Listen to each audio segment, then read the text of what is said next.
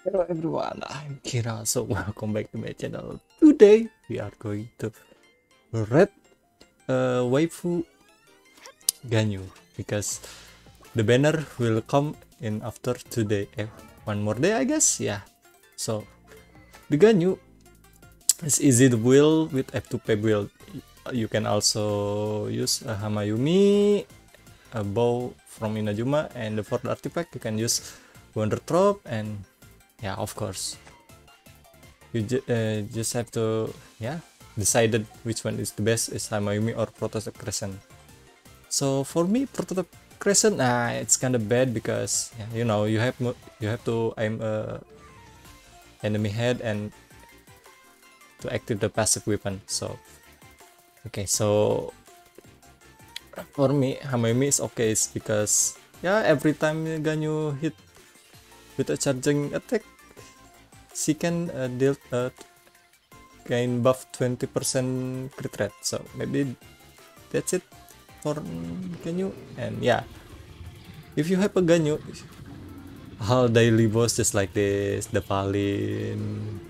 You can easy to kill it. See? Just like me. I recorded it with uh, weekly boss because yeah this is Monday bro. It's time to kill uh, Albos uh, in Taifat. Not Albos, but uh, weekly boss. Okay, so here's the one uh, about uh, Ganyu. Yes, as you can see, you just have not to playing melee with Ganyu. Ah, oh my god, I'm so bad at I'm sorry. Okay see boom just using a charge attack can deal uh, 30k damage 30k damage for player casual um it's okay. For meta i don't know. I did not i didn't i didn't, didn't follow uh, meta this game because i'm having playing game. Have fun. Oh i'm lucky. I just got a bow billet so i can refine four i guess. My Hamayumi? Yeah. So the minus of uh, Ganyu, you just have to bring a shield because yeah, without shield Ganyu is temporarily hard to play it because high lyrics, I guess high lyrics maybe, yeah. So as you can see I'm playing safe in here but the chill there it's so annoying. See the movement come on oh I'm sorry. Okay see. With Ganyu everything is is easy. But the minus if you don't bring a shield, the Ganyu will be dead easily. See?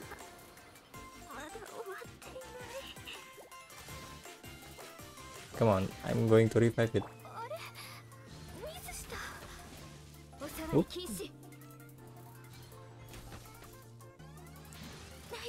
See?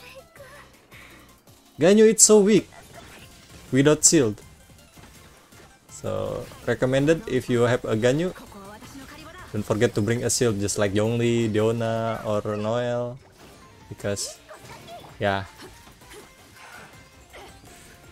you cannot using her as a DPS without shield. Hmm, nothing good. Hmm, okay, let's back to the blacksmith. Oh yes, special talent Ganyu is uh, if you forget a bow I bow every bow every time you crafting and don't it it will be give a cashback stun and only stun? Stun? Stun? Yeah don't know. Okay let's refine it.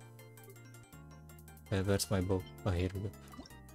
And ah not action bro. Why i'm so stupid? Okay, Let's refine 4. Boom.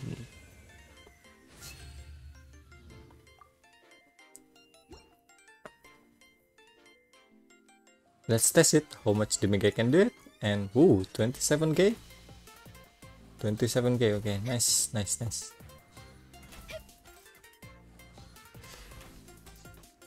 Hmm.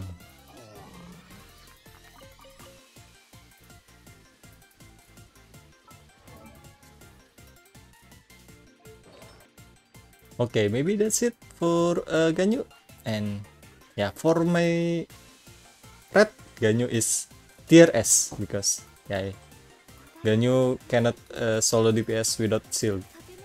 That's the problem. And yeah. Bye. See you in the next video